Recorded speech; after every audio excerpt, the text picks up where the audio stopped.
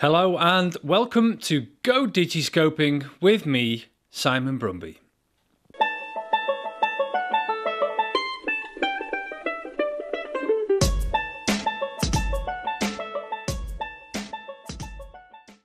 So, in the last episode, we spoke with photographer turned birdwatcher turned digiscoper, Mr. Robert Wilson, and we followed his voyage through photography to date.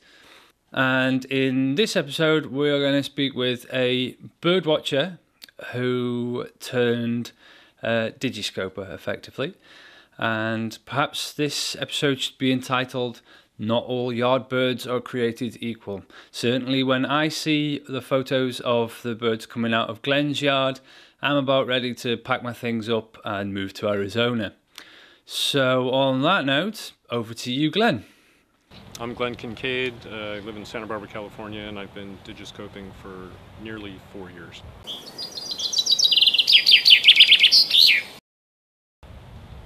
I came to digiscoping from the birding side. I've never, I've always taken pictures, but I consider it more like snapshots. Never had like a big camera. But when I got hooked was I had ordered my equipment. I had my scope, I had my tripod and camera, and I hadn't even taken the camera out of the box yet. And I looked out of my window and there was a raptor sitting out there. So I put the camera on. Uh, I'd never used the camera before. Took a few shots through the, the glass window didn't want to scare the bird off, opened the door, took some more shots, took some video.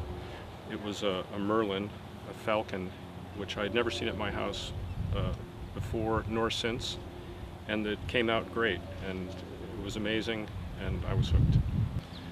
I, I like the, so there's a bit of black magic to it, you know? Uh, with the, if you get a camera, right, this lens fits with this camera, it's, it's known to work, it works, you set it up, it always works. With digiscoping, you've got to figure out how it, all the equipment plays together, and you can go out there and take a series of images, and they're crap, and then you push the button again, and it's perfect. So it's, you know, bit of mystery. The shots that come out are just so much more satisfying. I mean, if they all came out.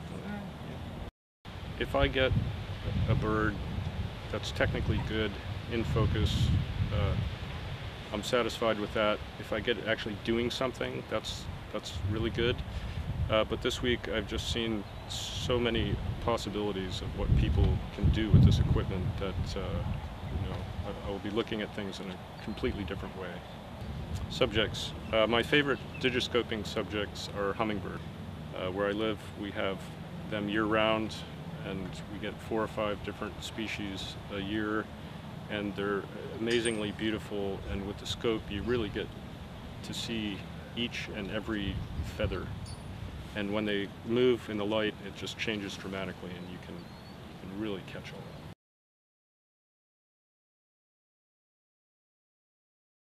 Top tip. Uh, the thing it took me a long time to learn at the beginning was, um, you know, with photography it's all about the light and that's even more so with the scope. It's more sensitive to your relationship to where the light is coming from. And it took me a long time to learn uh, there's going to be a whole lot of shots that you would like to take that are just not going to come out. I mean, you might get a good record shot if there's a bird you've never seen before, but you're not going to be printing it out and putting it up on your wall. So there you go. Thanks for that, Glenn. Um, thanks for sharing your I- images and your insights into black magic and uh, uh, mechanical devices. Uh, it's very insightful. Just one more picture before I go because I couldn't quite fit it into the uh, the interview, but I really love it.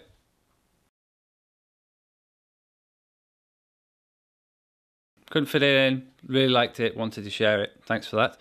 And talking of sharing, please remember to share the channel, uh, like and subscribe, and that way we can build up a bit of a community and get things going.